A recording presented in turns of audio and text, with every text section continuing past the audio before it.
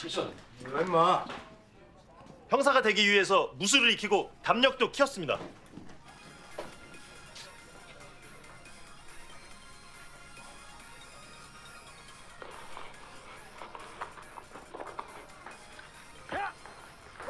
오 열심히 했는데. 오.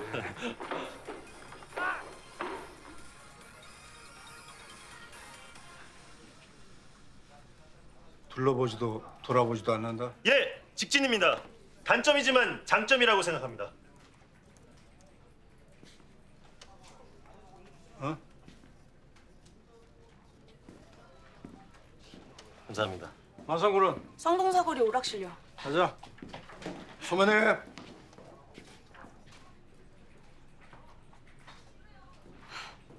안 가요?